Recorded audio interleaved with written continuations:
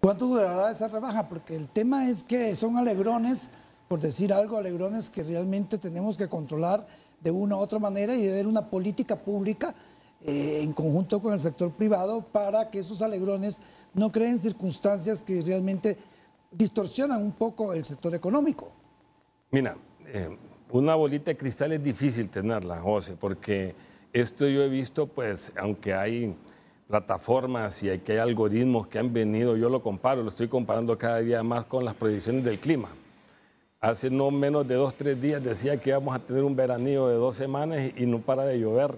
Entonces, eh, es bien difícil eh, proyectar lo mismo con, con, el combustible cuando se rige por, por mercados tan, tan inestables, o sea, ya son cosas no de tanto de oferta y demanda,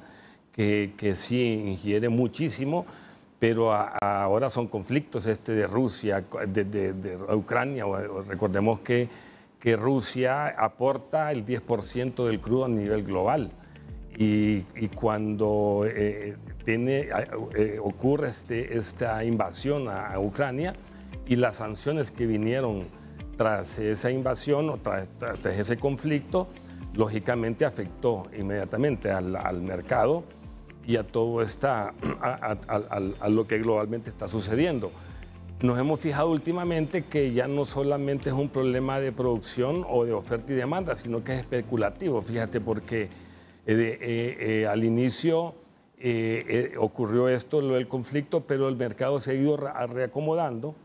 y hemos visto de que, de que la parte de la oferta ha, ha venido mejorando, aparte de todo este problema inflacionario que que también ha, traído pues, expectativas o,